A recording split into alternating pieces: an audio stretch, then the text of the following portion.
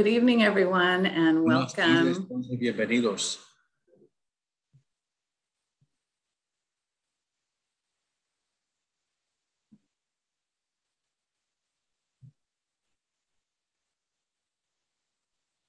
We're just letting people get settled. We'll start in a moment. Permitiendo que la gente se desplague, entonces va a ser un momento.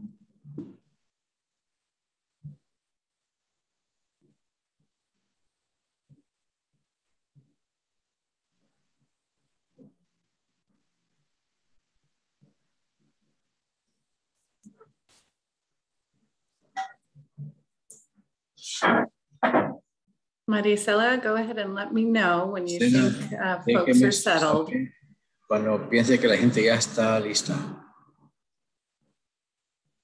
Alrighty, there are still some folks that are trickling in and to our Spanish interpreter, I did just send gente you a message. Just really quickly, we will uh, provide the um, translation instructions in just a moment. I'm sorry, I thought we started already. Yeah, we'll we'll ask you to unmute yourself in just a moment so that we can Okay. provide. I'll, I'll mute myself. like that. Okay, thank you.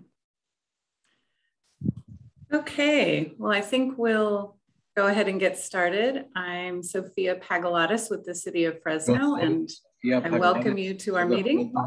Y bienvenidos a esta reunión. We have some, I'm going to bring up some slides and we'll go through some Vamos a logistics. unas estadísticas. Estadísticas, mejor dicho.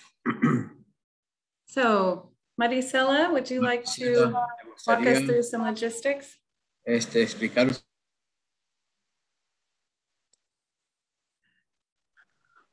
Uh, Mar- Marisela, you are muted.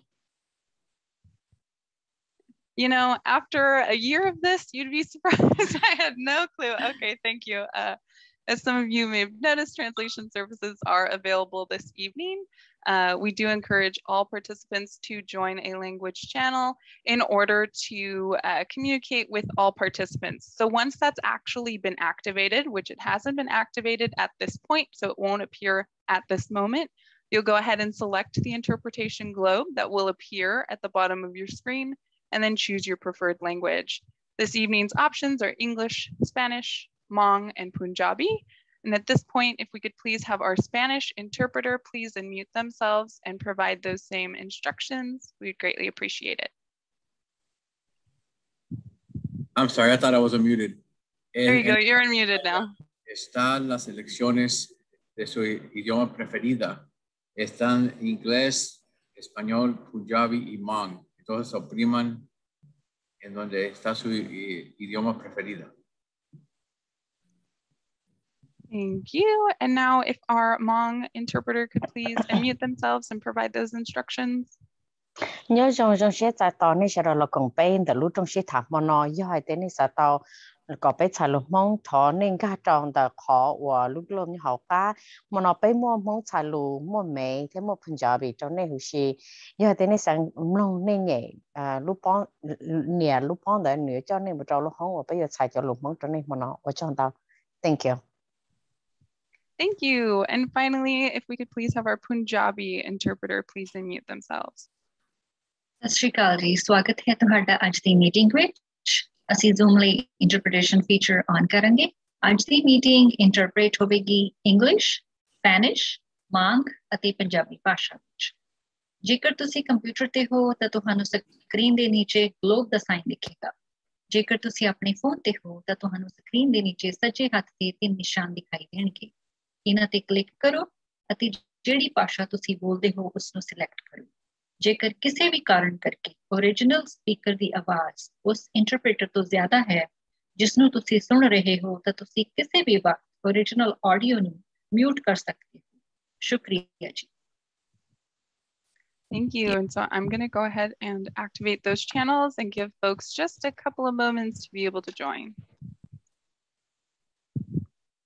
And so you should have just received a notification at the bottom of your screen. and so again, you'll go ahead and hit that interpretation globe and select your preferred language. And that goes for all participants.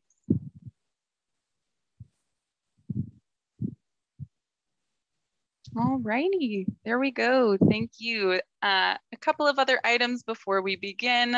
Tonight's meeting is being recorded and publicly broadcasted, and it will be posted to the Transform Fresno website, as well as the City of Fresno's Housing Element website. Uh, and it is streaming on the CMAC government channel, as well as the City of Fresno's Facebook page, as well as their YouTube channel. And so participation in this meeting will be considered consent to be recorded. And finally, I know that we may have been using Zoom for a really long time, but as we just saw, sometimes you forget to hit a couple of buttons or you don't know where to find them. So during uh, certain parts of the portion, if you wanna go ahead and raise your hand and ask a question or provide a comment, if you're joining us using your computer, the desktop client, uh, or the app, then you'll go ahead and hit that raised hand button. Otherwise, if you are dialing in tonight, you'll go ahead and press star nine on your phone. Again, that's star nine if you're joining us by dialing in. And with that, I'll go ahead and hand it back to Sophia. Thank you very much, Maricela. Um, welcome again to uh, all of you who have taken time out of your schedule to join us tonight. This is the third scheduled Here to Stay community study session. Um, we actually ended up having technical difficulties at our second one, which was on July 29th. And we appreciate the patience of all of you who, who were there with us. And we have rescheduled the topics for that item um, for that meeting, excuse me, to August 26th. So that's how our schedule is being modified. But tonight is as planned, August 12th meeting. Uh, we're going to be talking about mobility and connectivity and also regulations and legal protections related to the Here to Stay report. I also wanted to do a little bit of quick introductions as far as who's here in the room from the city of Fresno. Um, various staff from the planning, public works, and FAX departments are here with us. And uh, planning staff will be helping to facilitate breakout sessions. So if you could, uh, planning staff, give a wave, hello. Um, you can do more introductions in your breakout sessions. I would also like to highlight any anti-displacement task force members that are here in the room. If you're here, please wave. Sorry, I don't have a great view of everyone. Um, and we would now like to learn more about you. Drew, our pollster, will you take it away, please? Absolutely. Good evening, everyone. So we just had a poll come up in front of your screen and we want to know who's who's here. So what best describes you? You have several options there. Do you consider yourself a resident, a member of a public agency, member of a nonprofit agency, maybe a community advocate, a developer, a business owner, a landlord, a tenant, or other. Give everybody an opportunity um, to select.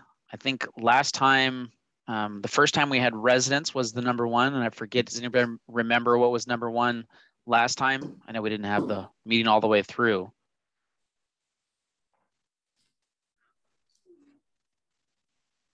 No,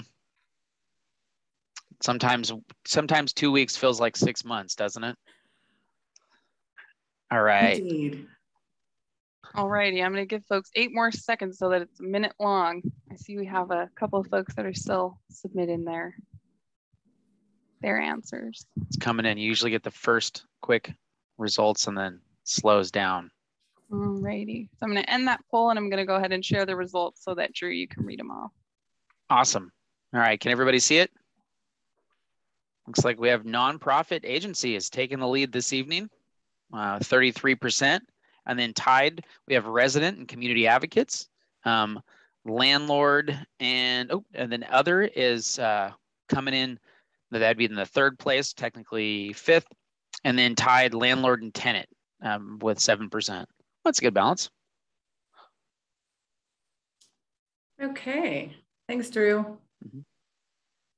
So our agenda for tonight is similar to our previous meeting. Uh, we're going to do a little bit of background. Um, we're going to uh, make sure you all know how to comment on the Here to Stay report, uh, take any questions, and then focus on our policy topics for tonight, which are mobility and connectivity, regulations and legal protections related to housing. And then we will go into our breakout sessions.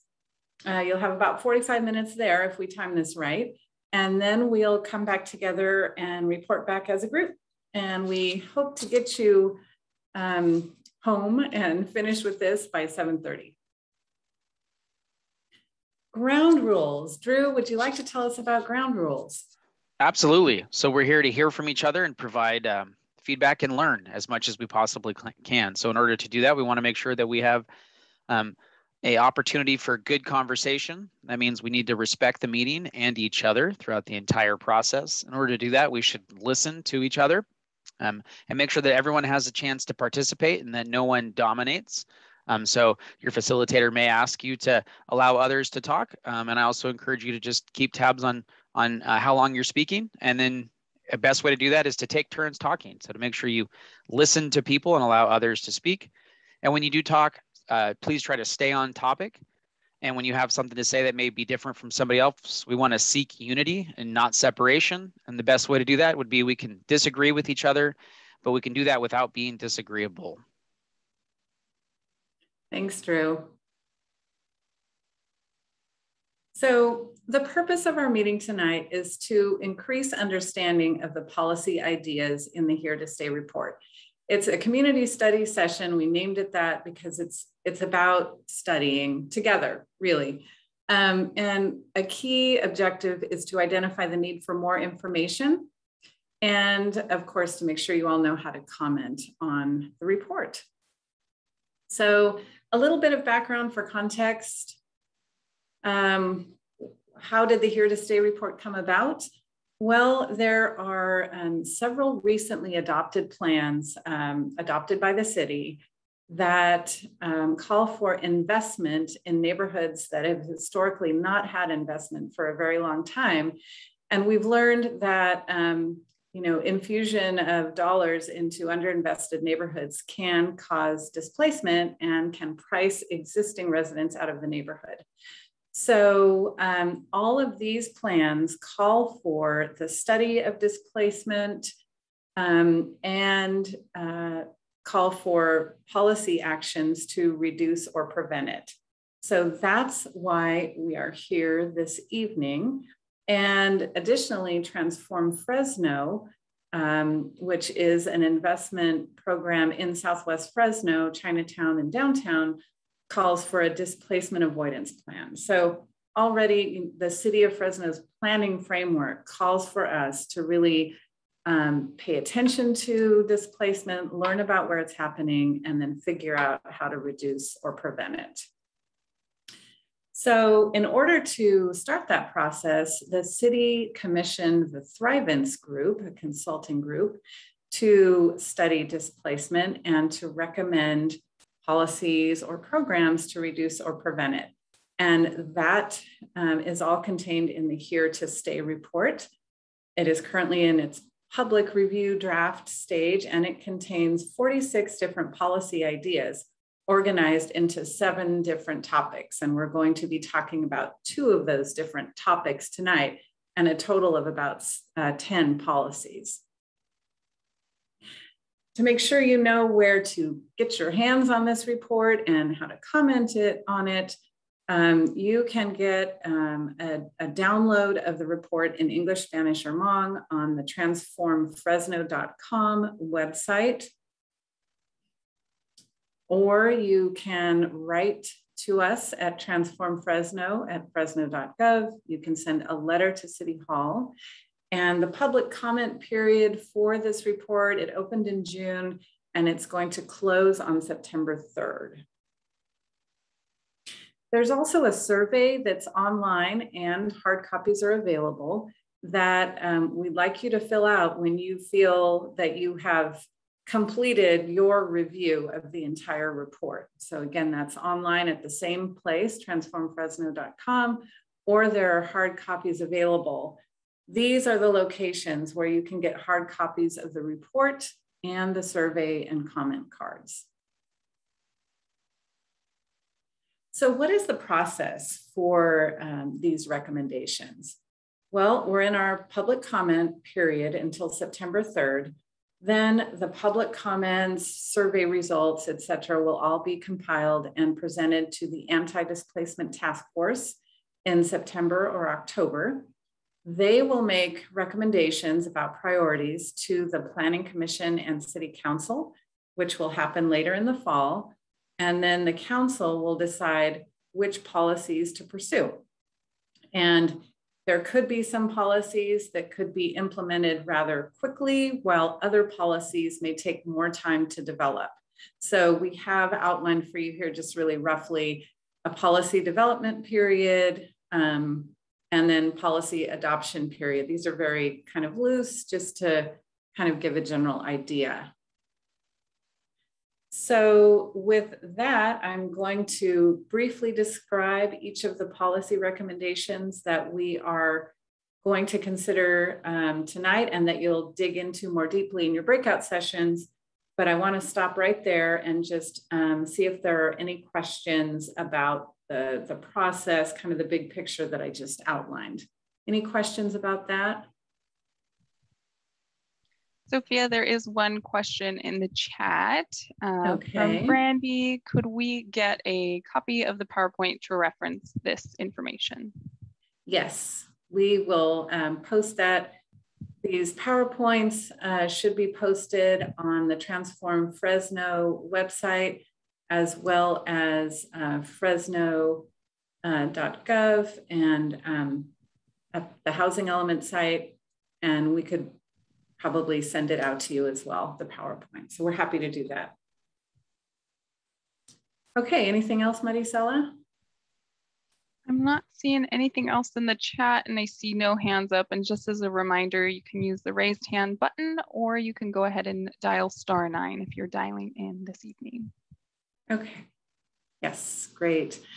Okay, I'm going to continue on. And what I'm going to do is briefly describe the um, policies that are the subject of our meeting tonight, and they relate to mobility and um, legal protections. And um, then when you go into your small groups, you can talk about them in more depth. So I'm just going to um, briefly describe them here. Uh, the first one is about cargo and freight prohibitions and a revenue tax. And the goal of this policy is to reduce the environmental hazards and health impacts of freight movement on low income communities by doing a couple of things prohibiting transit, storage, and maintenance facilities, and cargo freight movement through low income communities. And by considering uh, the establishment of a freight revenue tax that would fund community based programs and projects in neighborhoods most impacted by freight movement. The next mobility policy idea is a public works prioritization and mobility justice program. The goal here is to ensure that low income communities share in the benefits of active transportation investments. Active, active transportation investments are um, investments such as new bike paths, new pedestrian facilities, uh, facilities that would connect to transit. And um, what this policy is advocating is that before that kind of investment is made in a neighborhood, basic critical infrastructure should be provided. So um, before putting a, a, new shiny, you know, class four bike path in a neighborhood that's missing sidewalks, invest in the sidewalks first, or perhaps if um, signals need to be upgraded, traffic signals. That's the idea behind this policy. It also speaks to minimizing the disruption of long construction timelines on local merchants and residents um, by providing stipends to merchants and considering incremental construction rather than you know a, a very prolonged construction period. Finally, this policy um, recommends modifying the public works equity-based prioritization system that they currently use to include a displacement burden analysis and to implement a moratorium to provide time for this analysis. Looks like we're having more, more people enter our meeting. They're still trickling in.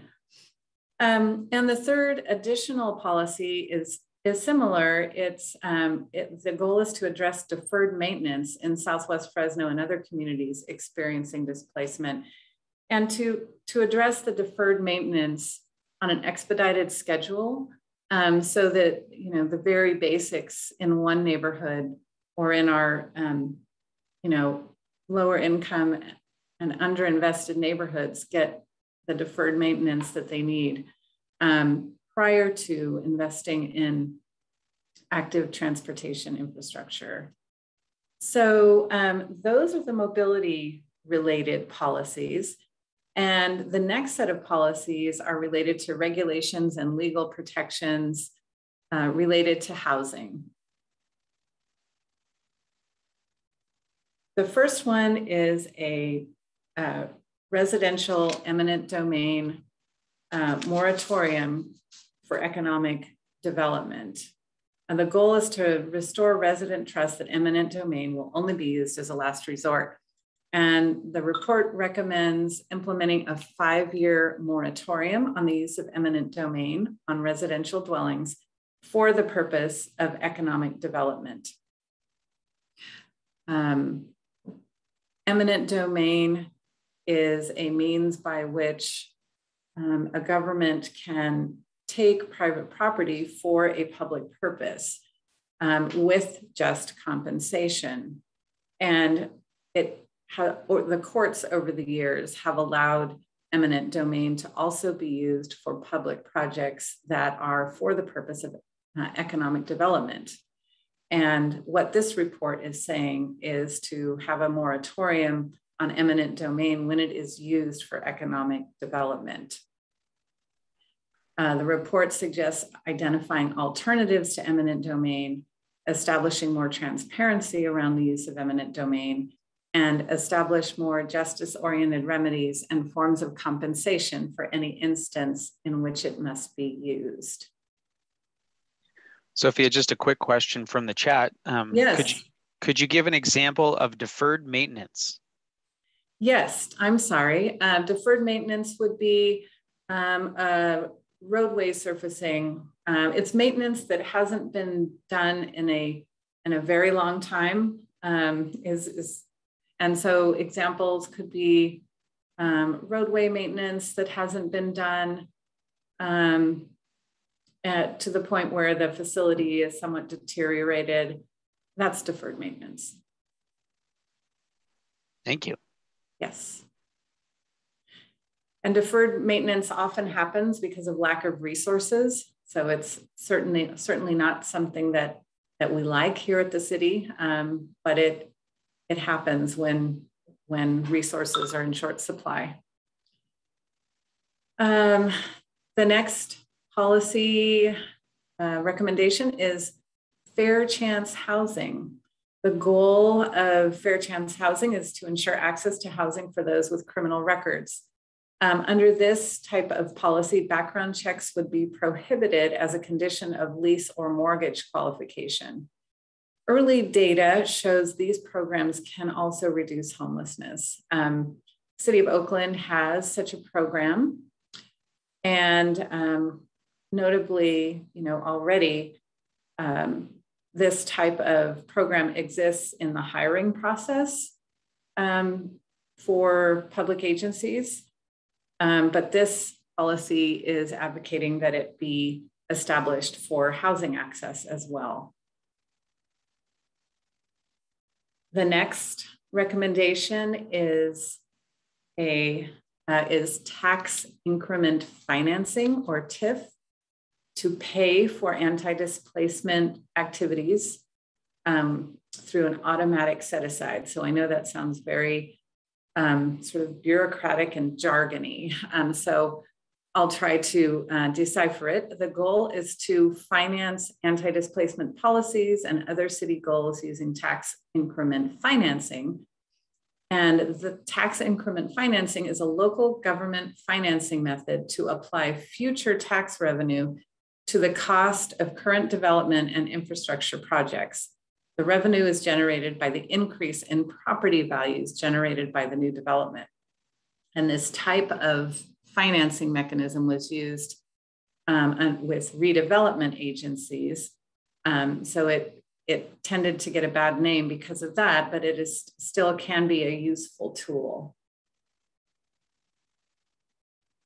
The next one is uh, rent stabilization, conversion uh, restrictions, and affordable in perpetuity designations.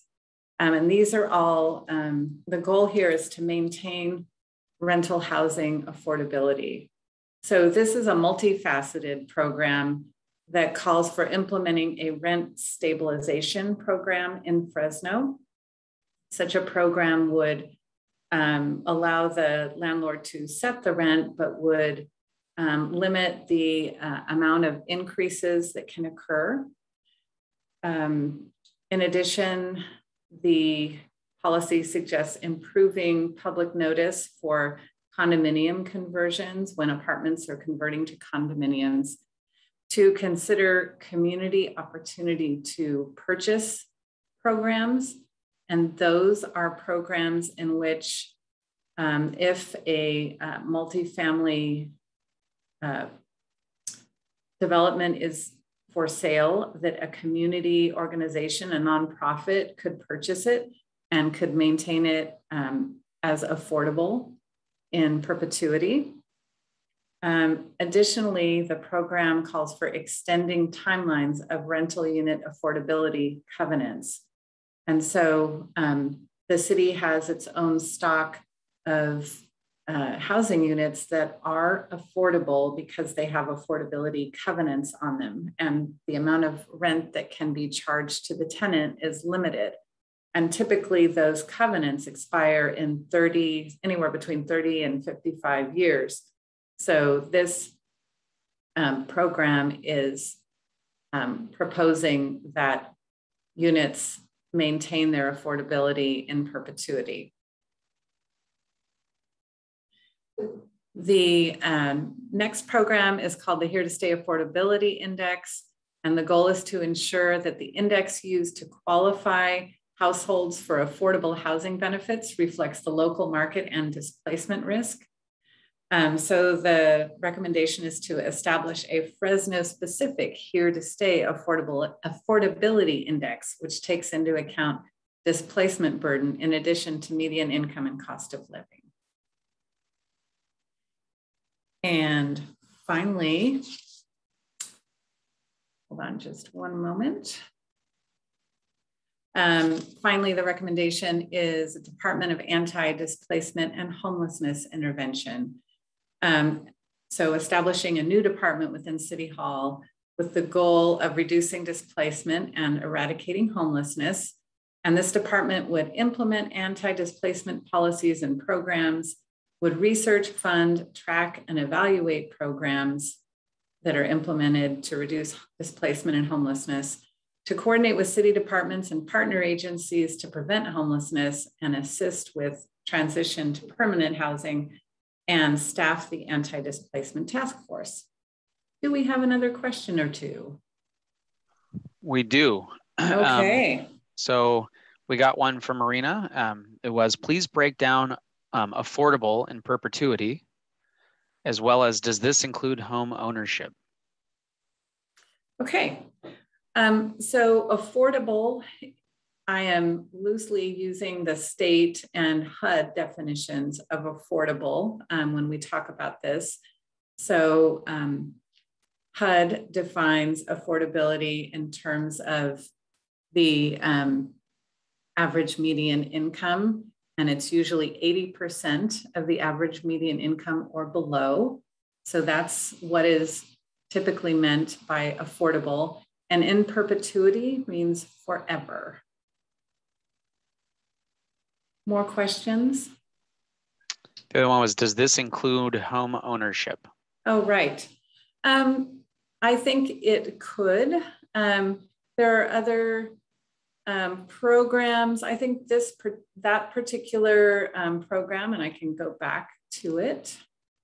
Um, I believe is targeted toward rental units. Um, actually, it was a couple back. It was affordable in perpetuity. Um, I believe that this was targeted mainly toward rental units because um, it references covenants that are on units. Um, but there are other programs or other policies in the Here to Stay report that talk about home ownership, how to establish um, affordable home ownership in perpetuity. And one of those programs is the Community Land Trust. I believe that is the very first recommendation in the report. So you might want to look at that if, um, if that interests you. Thank so, you. There's yes. one more question. Um, who is the anti-displacement task force? The Anti-Displacement Task Force is a 11-member um, task force that was created in 2018. It is a, um, it was uh, created by resolution. The members are appointed by the mayor and approved by the city council, and they represent um, developers, um, residential tenants, and um, res- and merchants. Um, in areas that are likely to experience displacement. So most of the members are from, um, represent the downtown and Southwest Fresno area. And they meet, they have public meetings and they meet um, right now on an as needed basis. Anything else in the queue? Yeah, we have um, one more question from Brandy and then uh, looks like Janice has her hand up, and we did get a question um, from Kimberly. So, okay. Uh, is there more detail on how we can ensure the anti-displacement and homeless department are coming from a position of hearing from the affected demographic, like the homeless and advocating for them? Basically ensuring that the department is actively hearing from those at risk of displacement and homelessness and those currently homeless. Yeah, I think that's an excellent um, concern. And I think that that would be a, a, great one to bring up in, in the breakout sessions. We are going to be, uh, your facilitators are going to be taking notes and you can write your own notes. So um, I think that's a, a great um, concern to bring up. Great. And then would you like um, me to have Janice unmute herself to ask her question? Please. Absolutely. All right, Janice, you should be able to unmute yourself. Okay, I think I've done that. Can you hear me? Yep. Yes. Um, my question is, there is a state rent control as well as um, a no cause eviction. And I noticed that this is in this report as well. How does this coincide or dovetail with what's already in existence? It, um, no, I think that will be up to us all of us to, you know, decide what um, what more beyond the state uh, requirements is needed here. So we, you know, we'd love to hear from you on that, and um, I would suggest that you you voice your ideas in the breakout sessions. Okay, thank you. Mm -hmm. Thank you, Janice. We have um, two more questions. Sophia, would you like to hear them? Yes, please. Right. So first is, can you repeat repeat that? A community land trust will reconcile the cost of home ownership in implementing rent stabilization? Um, a little bit of refinement is needed there. Uh, community land trusts are um, are described on, I think, page 44 of the Here to Stay report and what they do, they are more an instrument of affordable home ownership in perpetuity. So not, not rent stabilization. With a community land trust, um, housing, a, a, land trust can build or acquire housing and then um, and sell it basically to qualified homeowners, um, but ensure that they when they want to then move on and sell the house that they don't have a windfall profit. They can make some money on the home, but there are limits on how much. So that home then stays affordable to the next buyer. So the community land trust is an instrument for keeping home ownership affordable, is what I said. Thank you. And you're close, really close without looking. Page 41. Okay, thank you for checking me on yep. that. Absolutely. And then uh, lastly from Marina, how can we serve on the on this board? I'm assuming I mean, that it's anti-displacement task force board is my guess. Yes. Marina, is that correct? Um, yes, what you would do is um, you can either contact me and I will get your name to the right person. Um, and my email is going to appear on the last slide when we get there. Or you can contact the um, Fresno City Clerk and ask um, to be, you know, let them know that you're interested in the anti-displacement task force.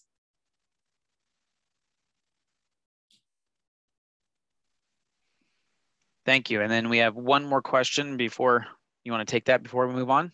Sure. Okay, here we go. So are any considerations being thought of, and this is from Lola, are any considerations being thought of for landlords with property maintenance, providing clean and safe properties with limited rental restrictions? Yes, um, Lola, I think that's something we need to hear about from you. We'd like to know when we get into our breakout sessions, you know, we know that in this meeting, there are um, people who are, are tenants and renters, there are people who are landlords, um, perhaps like yourself. And, and the purpose of this is to kind of share what our experience is um, and, and try to understand what these policies are recommending and how, how you would go about it. So um, I think that that's relevant information that should be shared in the breakouts. Sophia, if we could just pause for a brief moment. Um, our Spanish interpretation channel is having a bit of trouble. So I've been talking to our uh, interpretation uh, team and they are actually sending in a sub interpreter so that we can make sure that that's running smoothly. So we'll just okay. give them a couple of moments to log on and then I'll do all the all the clicking of buttons to make sure that everyone is in the correct place. That's great. I think I. But help is on the way. So yes, help is on the way. I think he just. I think he just entered.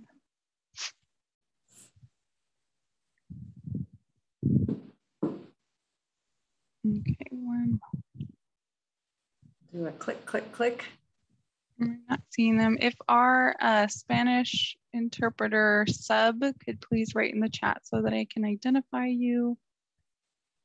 I'll go ahead and assign you to the Spanish interpretation channel. Okay, there we go. One moment, everybody.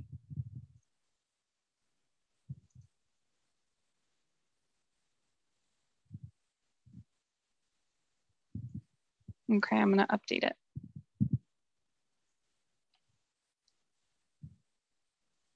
Okay. Just we... give me one moment. I'm going to go ahead and Tanya, I'm going to have you be a co-host so that you're able to unmute yourself.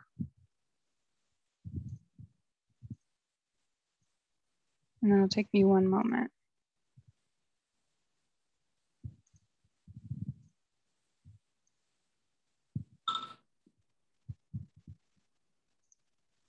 Okay, I'm hoping that that worked. One moment while I check it out. Good? Yes, I can. Perfect. Okay, thank you. Okay, are we are we good to go? Good to continue? Okay, thanks so much. Any more questions, Drew? Um, one question was, do we have builders and developers on? That's from Kimberly. Um, I I don't know, um, but you will find out in your in your breakout sessions. Okay, and I think in the interest of time, I'm going to move it along. Um, we are just about to get into our breakout sessions. Um, there is one more additional policy that was recommended. Um, and it is environmental justice and climate resiliency planning with the goal of protecting Fresno, Fresno residents from a natural disaster or extreme weather.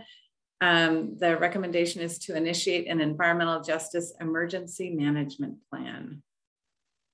Everything okay, Marisela? Okay, just checking. Okay, um, so now we are going to um, get you ready to go into your breakout session. Um, just a little uh, or sort of goals for what you're doing there. Um, we hope that um, it will increase the understanding of the policy ideas for you to have a chance to talk about them.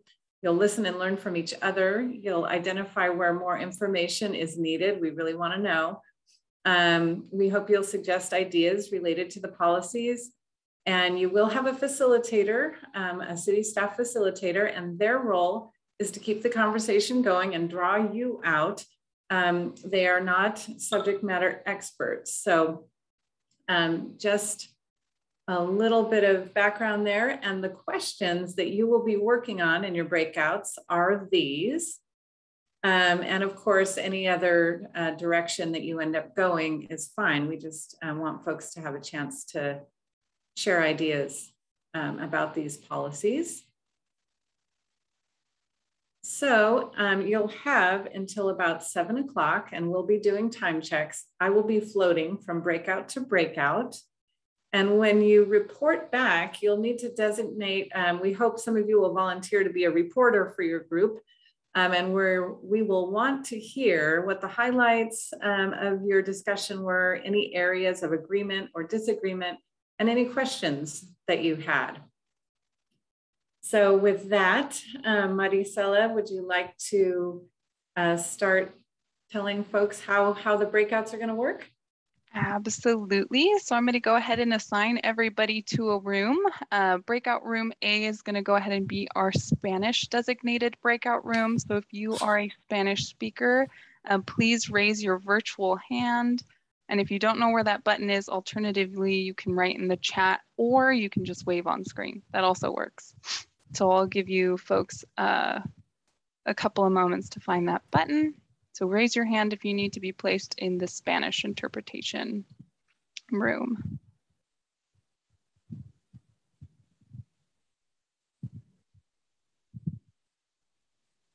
Alrighty. One moment.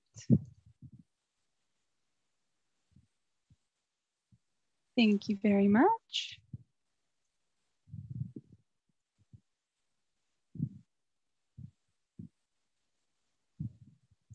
Perfect. Okay, I'm assigning you folks to the room and I'll lower your hand as I assign you. Perfect. Let me see. Okay. Anyone else that needs to be in the Spanish interpretation room?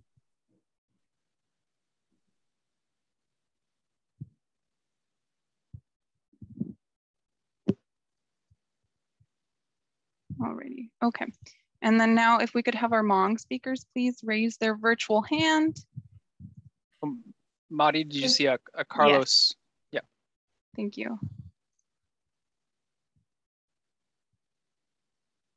Let's see. Okay, seeing them. Alrighty, and now our Punjabi speakers, if there are any in the room, if you could please go ahead and raise your virtual hand, type in the chat, or wave, give us a big wave.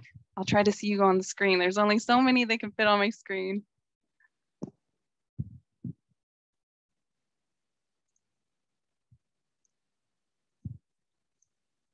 Alrighty.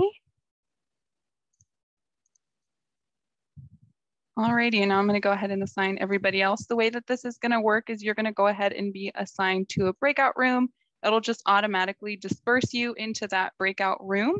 And um, you don't have to press any buttons. However, when you do come back to the main, uh, main room after the breakout session has ended, what you're going to go ahead and do is you are actually going to select the interpretation channel all over again because it will not automatically place you back into the interpretation channel that you selected at the beginning of the meeting. Okay, so everyone should be assigned to a room. So you're gonna go ahead and be teleported out to your breakout rooms. And then after that, we will see you here in the main room, okay? Is everyone ready to be teleported? Oh, go ahead. Mari, I, yes. I think Carlos Morales wanted to be um, in the Spanish breakout and I still see him. Oh, okay. Let me try to undo that then. One moment. Carlos. Do you see what room I accidentally placed Carlos in? Um, I just see him with us still.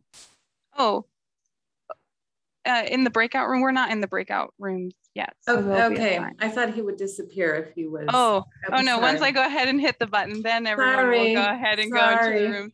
No worries. I thought, oh no, what did I do wrong? Okay. Alrighty, okay. I'm going to go ahead and open all the rooms. And also, if you see a blue banner at the top of the screen, that's me sending a message out with time checks. I'll also pop into everybody's rooms just to let you know when we're halfway through 10 minutes. And then at the very end, maybe I'll be able to get into each room in time and let you know that your time is gonna end, okay? All righty, thanks everybody. Good. You're still with us and we have some kind of uh, sharing to do and, and a little wrap up. So don't go away. All right, does this look like everybody, Marisela? Not quite no. yet. There are about five seconds remaining. All right. Aha. Here come lots more people. We should do a countdown like New Year's. and as a reminder to everyone, now that everyone is back in the main session, please reselect your interpretation channel. And again, that's the globe that will appear at the bottom of your screen, and then you'll select your preferred language. Okay, well, um, we'd like to do a little sharing, just some quick highlights. We don't have a lot of time. Um, uh, but we do have 17 minutes. So um, that would be a couple of minutes per group. And, and then some wrap up. I'm going to give you, um, we do want to do a poll um, with you quickly before you leave.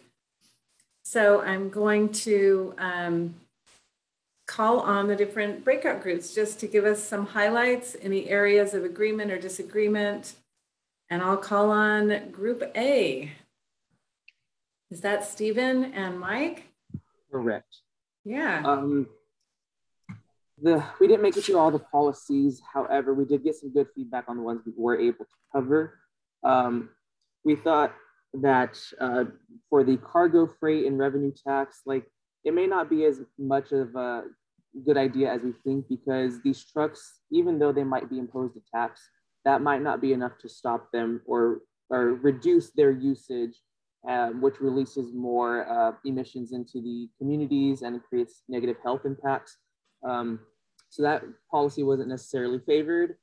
Um, for the public works prioritization, um, we feel like there are some communities, um, the older communities, disadvantaged communities, um, which are really just being ignored and there's some communities that are only 20 years old, but they're having all their roads repaved. Meanwhile, in the disadvantaged areas, you know, it's nothing and the roads are horrible. So the city really needs to address the equity issue and uh, invest in our disadvantaged areas. Um, skipping over to uh, eminent domain, um, there, there is some fear, but not as much uh, as in the past, but we feel like the city should acknowledge past harms that were done and um, we and the city should take steps to correct the wrongs that were done in the past. Um, for fair chance housing, um, it was said that you know there's already some places that rent without background checks, um, but as as comments were made in the group, uh, it kind of agrees with previous studies that were done that sometimes, or there's a lot of prejudice out there and um, people of color would be more impacted by these or by these background checks and it's simply not fair. And a lot of people you know they may have made mistakes in the past but they're trying to correct themselves and do better for the future. And um, being discriminated against um, by a previous mistake that they may have made. You know, it's just not fair. Um, so uh, they agree with the fair chance housing. And then for the uh, tax increment financing, uh, the group did think it was a great idea if the money that's generated stays in the community and the community gets a say on how that money is used. Cool. Um, thank you for that summary, concise. Um, let's see. How about group B, Lachey? Absolutely. Um, Jacob from our group wanted to go. Could we have somebody unmute him? Hello. Okay. Oh. Group Group B. Um, we had um, some community advocates and a really gracious landlord dealing with our rabble rousing. Um, and we talked about things like the cargo and freight prohibition um, and talking about um, maybe the possibility of uh, rerouting to kind of help deal with some of those things because even if there is a tax, there's still emissions and it makes things difficult. Um, we had, uh, let's see, um, public works prioritization, um, making sure basics are covered is important. The existing business or the stipends that are involved with it also really important to, to save some um, some uh, um, small businesses, um, especially small businesses of color, while uh, while construction is happening. We talked about um, mobility transportation prioritization, um, balancing the need to make sure that things are fixed, but also why should we not be providing walkability and access to to these neighborhoods too? Like if they're behind, why would we not do that? And talking about some some cheap ways like restriping and bollards that we could create some um, some affordable ways while we're adding um, infrastructure that's not there um, putting some walkability in at the same time. We talked about um, eminent domain moratorium, talking about how it should help families at work, talking about Prop 13, um, talking about using eminent domain to take um, housing from slumlords and keep it habitable and safe. Um, and also making sure that um, eminent domain is keeping um, certain uh, developers from plowing and redeveloping large areas. Fair chance housing, yes, yes, yes, from a lot of folks. Concerns from some of the landlords in the room um, about how they would be able to protect themselves um, and about how it's not really black and white from everybody in the room. And that's a difficult balance to strike. Um, and I think the last thing we got to was rent stabilization um, which we spent some time on, um, making sure there's no predatory evictions um, that are kind of bucking rent stabilization, um, making sure a lot of us were talking about making sure that um, small landlords and big landlords are held to the same standard. Um, because from a landlord perspective, if you're a small landlord, having to do the thing and then seeing all these big companies not having to do the thing it feels like a penalty on them. And that's not fair, especially when there's such gratuitous violations by these huge, com- huge companies that aren't being held accountable. And I think that's it. Really awesome group. Thanks for letting me be a part of it. Thank you, Jacob. Um, what are, are we on group C? Yeah. Who wants to report from group C? I think that's our group. I think that would be Lola. Okay. Hi, Lola. Hi, everybody.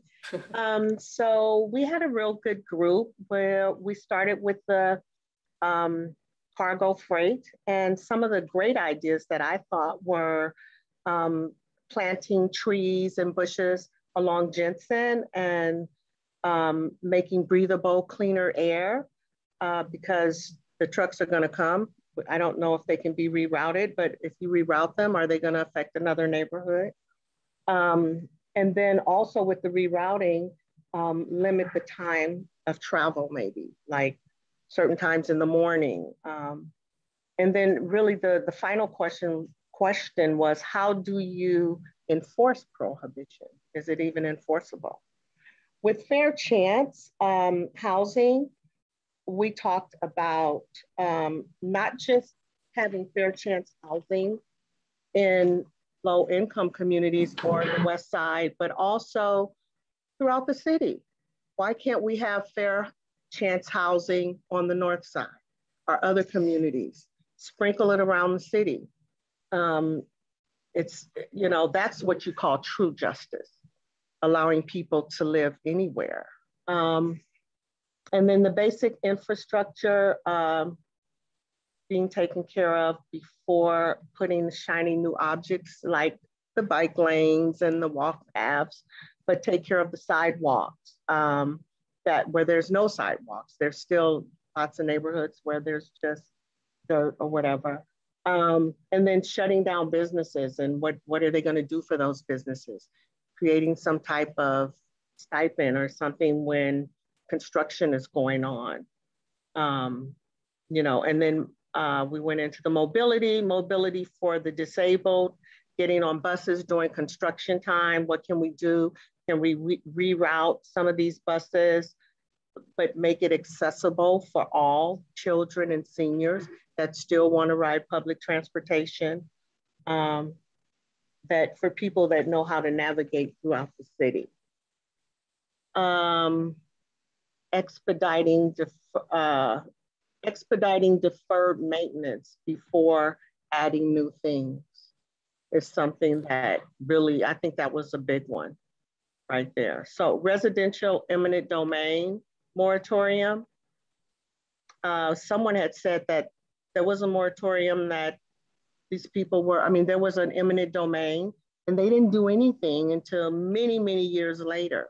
And so if if it ever has to happen, um, have a timeline.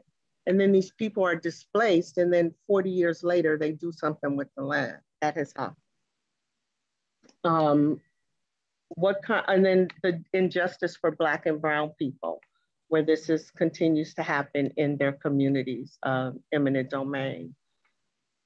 Okay. Uh, oh, and then allow them to negotiate a market rate where they can still purchase a property somewhere else. Because a lot of times they want you to just take what they're offering. Um, and then we talked about transitional housing. Uh, we support that also for fair housing, fair chance housing. I don't know why that's over here too. Um, tax increment would make it harder on the poor if taxes raised for infrastructure um, so we were not for that one. Okay, rent stabilization, small, oh, small property owners, um, rent stabilization, how it affects them different from a large developer. A lot of our small property owners are seniors.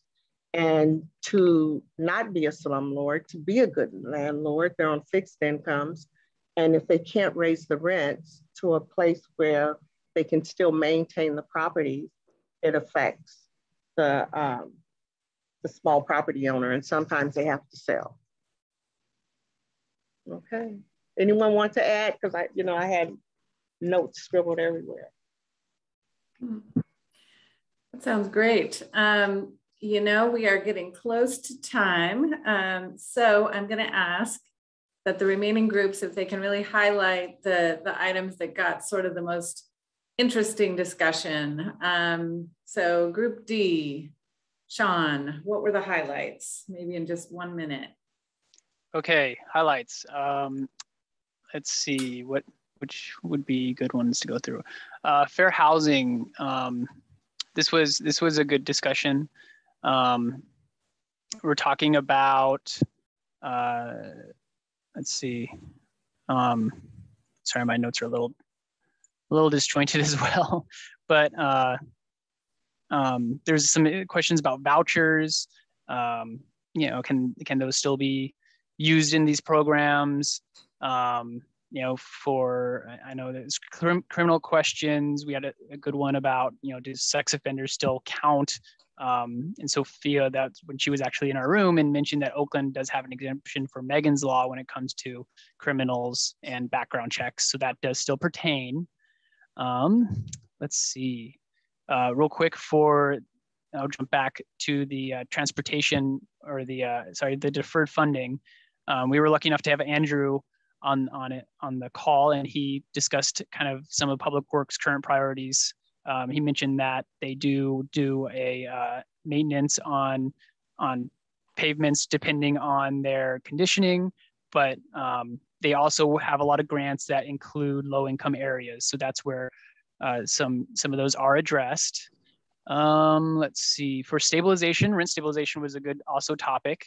Um, there there was some questions you know for the difference between landlords that are mom and pop that have you know mortgages that they also have to pay and and um, you know if if rent controls on them they might not be able to make it or if the taxes go up or, or you know cost of being a landlord themselves is a big issue but then also there's issues of people being displaced after paying their their rent on time for for decades and then they still get evicted um, so there, there's thoughts on those, but generally that there's a consistent or a, a consensus in a group that uh, the landlords that don't really care about a lot of those things tend to be on the corporate side. So there'll be very large organizations that own several properties and don't really consider like a land a local mom and pop landlord that you can just text and and kind of communicate that way. So um, little little gray area in that, um, but those were our highlighted topics. Thank you about Group E, Casey's group? Yeah, so Esther, I don't know if you're available to give our report. If you want to give me a thumbs up or a thumbs down, thumbs up. Okay. Sorry about that. Doing a few things at one time. So let me get back to my Jamboard here. Um, yeah, so we didn't get through all of the the um, the topics. So I will try and hit a few of the highlights here. Um, on, I mean, a lot of our discussion was about like trying to understand um, the more to the policies and bringing up questions around big questions that would be important to answer around these policies. Um, so around the mobility, um, the cargo and freight one, I think there was just concern around like is this exist is this applying to existing or just to new? Um, cargo freight that sort of thing. Um, where where the areas? Um, in fresno like how are those areas going to be defined um, that get the the benefits from a taxation and stuff like that um, on the public works prioritization um, we heard that um, there is the ATP plan that gets updated every five years, and it would be really good to add um, displacement burden analysis into the next update. Um, I think we're four years into that update, so that would be good. Um, and then um, we just had like some thoughts around cautioning the moratorium on stopping any development that is like really needed in, in much needed areas um, just for sake of like keeping things moving forward um, and not wanting to stop good infrastructure and and that sort of thing that's happening um, I'm gonna skip around a little bit to the housing stuff. Um, talked about the eminent domain. Um, really what impact does this have is really the big question um, is is this being used currently has it been being used and what effects would it have um, in the next five years like really would it make a difference in the next five years would projects pile up and then after five years there'd be like a crash or would it really not matter so there was just more um, more questions around that. Um, fair chance housing. Um, a lot of discussion about this, really wanting to see that there's like more transparency um, between landlords and tenants on in the process. so that um, so people know exactly what is required or what is not required. Um, somewhere there's just we talked about a lot of pros and cons to um, either having background checks or not having background checks, and the effects, um, the positive and negative effects that these this can really have on individuals, families, neighborhoods, communities, and our entire city. Um, really. Um, and then for the anti-displacement automatic set aside, um, we really needed to just wanted some definition about what those programs are, who's involved. Um, we also heard that this can be a little bit tricky. The TIFs can be a little tricky when um, the ec- when economics kind of take a downturn um, and there's not that revenue coming in. Um, so talked a little bit about that. And then the rate, rent staple, stabilization conversation um, talked about uh, the the current what AB 1482 currently does and what it doesn't do, um, and just um, yeah, I think my my Google just signed me out of this, so um, I can't get to the rest of the notes. Um, so that's that's what I got for now.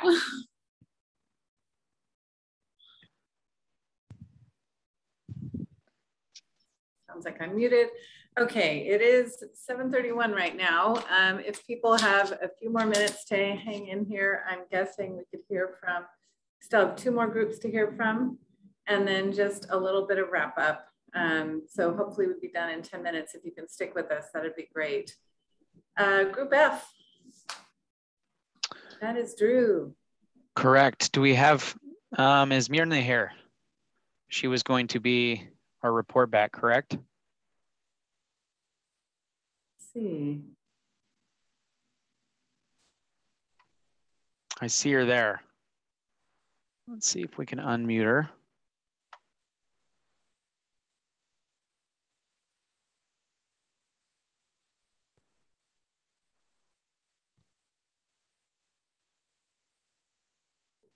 Aaron, are you there?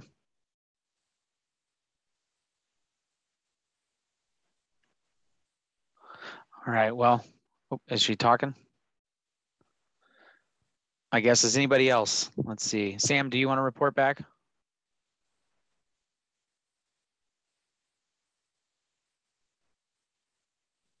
I think you got it.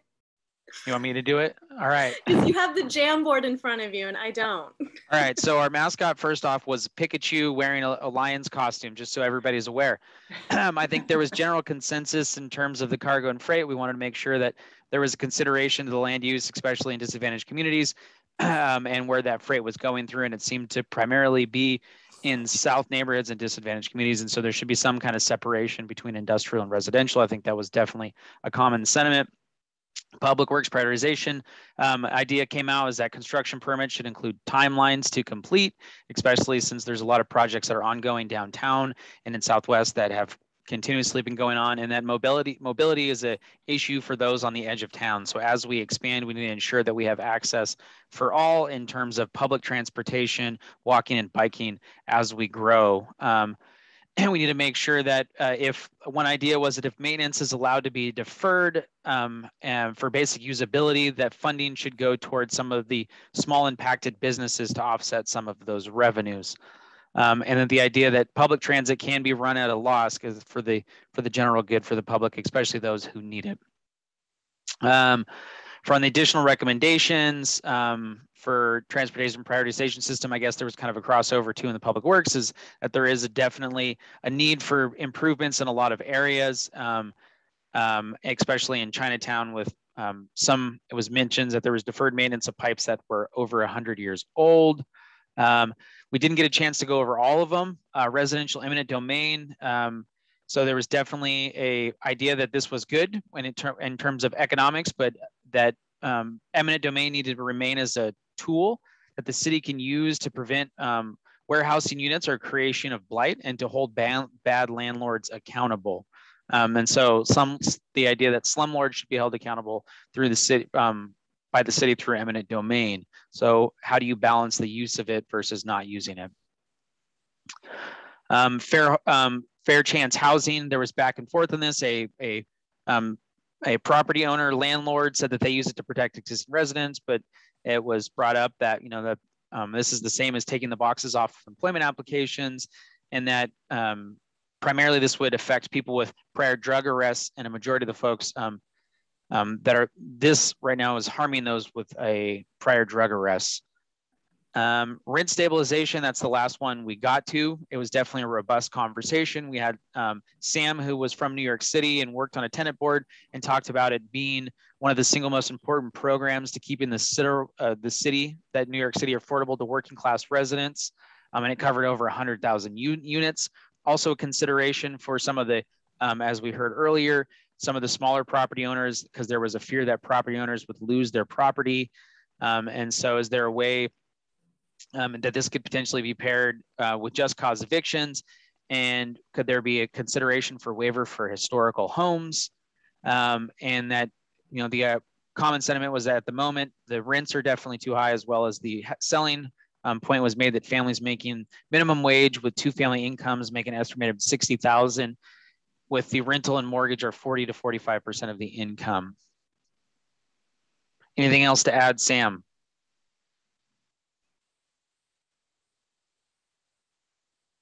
Or anybody else? Um, I think you got most of it. I think the most important thing about rent stabilization, though, affordability programs that involve federal funding often can't house undocumented people. Rent stabilization as a blanket property price point regulation system covers everybody. So that's an important thing to consider. When you regulate the base rents, you're protecting everybody, including the units that aren't directly covered, because it creates an expectation in the market of what is and isn't acceptable. But it has to be paired with just cause eviction, or it just simply doesn't work. Thank you. Some good experience in the room here. Um, all around. How about our last breakout uh, group was G from Aubrey. Hello, um, I'm going to be the reporter for my group. Uh, we had a lot of good conversation, uh, just some highlights um, from topics that we talked about. Uh, we talked about TIF for anti-displacement. Uh, we thought, my group thought that that was a good idea, um, especially increasing the rent, I mean, the property taxes of uh, neighboring new and wealthier neighborhoods to help fund um, updating infrastructure in uh, the specific planning area. Uh, another hot topic was anti-displacement and homelessness intervention. Um, my group discussed about approaching this topic with dignity and um, approaching the people with dignity and partnering with qualified uh, community partners who are actively working on the forefront in this field to help guide us and shape policies um, for how we approach that. Uh, another um, highlight is we talked about public works and prioritization. Um, one of the major things was improving our current infrastructure. We had a major concern about FAX infrastructure. Um, if if there's enough shading structures for people or enough benches for people to sit um, to take the FAX, and then as well as um, engaging with the public in a meaningful way um, ensuring that we're able to reach people who we typically normally wouldn't be able to reach, um, just getting out there and getting as much information as we can for them uh, to develop any policies that will benefit uh, their community. And then one of the last major things we talked about is environmental justice, um, increasing the green space, uh, shade, and safer routes in this area. Thank you. Thank you. Oh, goodness. Um, well, it sounds like we've had um, some great conversations. Uh, we really appreciate your participation. And I'm going to bring up the screen just really quick here to, um, to uh, wrap us up tonight as far as, again, reminding you of next steps. Can you see my, my screen? Yes, we can. Wonderful. Um, we wanted to know, so, you know, as I mentioned at the beginning of this meeting, the purpose of these um, sessions is to really kind of start fleshing out additional questions and hearing what others have to say. Um, but eventually we would really like you to fill out the survey um, um, that accompanies the Here to Stay report. Um, and in preparation for that, we just kind of want to take a little, a little temperature check right now and ask you to tell us right now um, which mobility and connectivity policy would be most helpful to your community. So um, we have this one, and then we'll ask you about the, the um, legal protections category. And Sophia, uh, actually, I just launched the poll and they both should show up on your screen. So for the second question, you may just need to scroll down just a little bit. So I'll go ahead and read uh, the first question, which mobility and connectivity policy would be most helpful to your community? The cargo and freight prohibition and revenue tax, public works prioritization and mobility justice, or the additional recommendation. Uh, let's see, it got cut off, but mobility conditions, transportation prioritization system. Uh, and you can select up to three. I realize there are only three there, so maybe just select one for that one. I'm realizing that I set it up that way. Uh, and then for the second question, it says which regulations and legal protections policy would be most helpful to your community? Residential eminent domain moratorium, fair chance housing, TIF for anti-displacement automatic set aside, rent stabilization, conversion restrictions, and affordable in perpetuity designations. Ooh, it's moving around our results. I can see them. Here to stay affordability index, Department of Anti-Displacement and Homelessness Intervention, or that additional recommendation for the environmental justice and climate resiliency planning. And again, you can select up to three and I'll give folks a, a couple of moments to fill out that poll. I realize that there's a lot of places to click and a lot of scrolling that needs to go on. So I'll give y'all some extra time. And also if you're unable to uh, figure out the poll, feel free to also put it in the chat if you feel comfortable with that.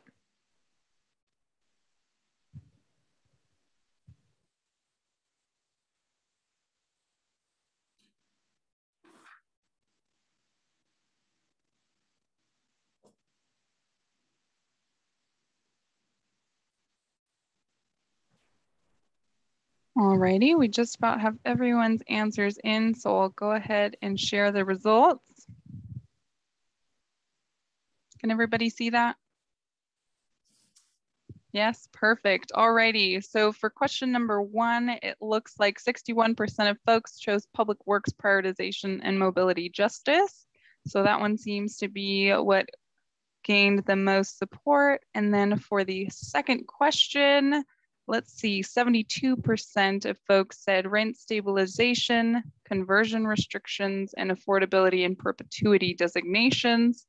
Let's see what followed that. Fair chance housing. And in third place, let's see the Department of Anti-Displacement and Homelessness Intervention. So I'll go ahead and stop sharing those results and pass it back to Sophia. Thank you, Marisela. And thank you everyone for participating in the poll. Um, just a, a, little, a little advertisement here before we, um, we end. The city does have um, emergency rental assistance funds available for you if you are behind on your rent. Um, and you can call 621-6801 or go to fresno.gov slash ERAP to get more information. So we just wanted to mention that. And that brings us to our schedule. Our next meeting will be a week from today, Thursday, same place, same time, 5.30, um, focusing on uh, direct services and alternatives to eviction and increasing dignified housing options. So um, please join us then. We would love to see you again. And if you have questions, you can email me directly or you can send comments um, about this or questions to transformfresno.com slash here to stay. So with that, um, we're ready to close. Any last comments or questions for the group? Just the one request to go ahead and put your contact information in the chat. So I'll go ahead and do that now. Thank you.